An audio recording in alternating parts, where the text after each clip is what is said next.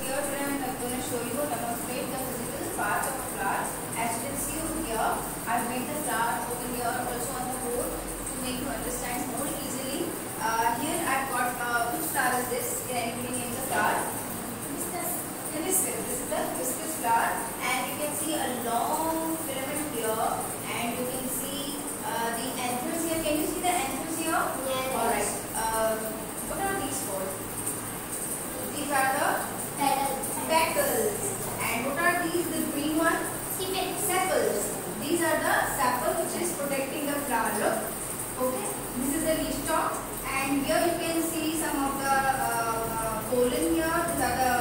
anthers here and this is the filament here.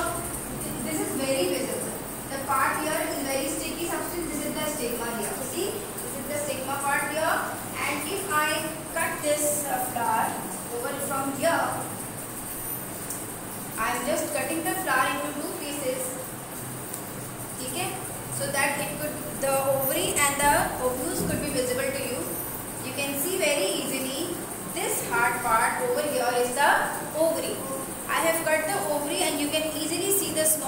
ovules inside.